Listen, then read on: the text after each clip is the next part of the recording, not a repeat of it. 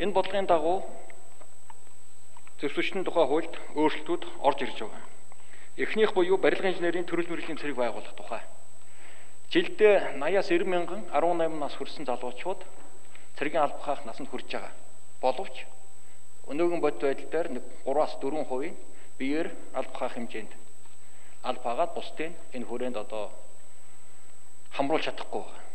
Энд юу анзаарч байгаа гэвэл эрчүүдийн одоо бие бэлтрийн хүмүүжил, ёс суртахууны хүмүүжил, эх оронч үзэл санаа, за мөн хөлбөр эрхлэлт, мэрэгжил эзэмших гээд олон зүйл бас олигтой нэг бодлого нь гарч ирч чадахгүй байгаа бид мэдэж байгаа. Тэгэхээр барилгын инженерийн төрөл мэрэгжлийн цэрэг байгуулад энэгээр дамжуулаад залуучуудад нэгдүгээрт цэргийн бэлтгэл үүрэгтний хангах, хоёрдугаарт хөдөлмөрийн одоо хүмүүжил болгох, эх оронч үзэл санаагаар